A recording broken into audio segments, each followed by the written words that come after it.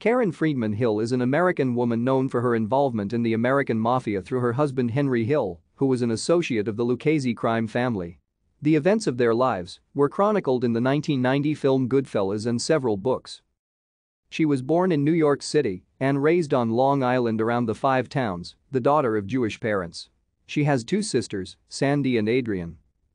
In 1965, Karen Friedman met Henry Hill, her future husband, through Paul Vario, who insisted that Hill accompany his son on a double date at Frank Frankie the Wop Manzo's restaurant, Villa Capra.